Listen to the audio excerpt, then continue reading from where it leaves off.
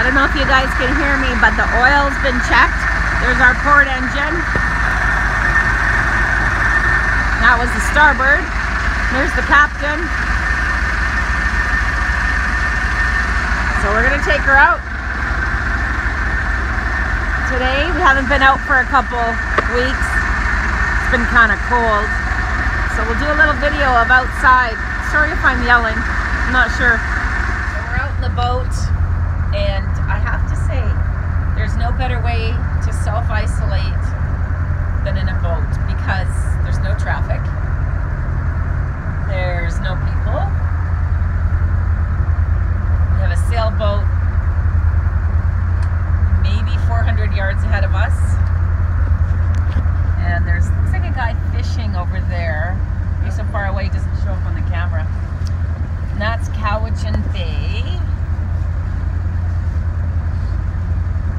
Pretty much everybody's a ghost town here in BC, just like the rest of the world. I do wonder though, in countries like Nepal and Africa, they don't have social media.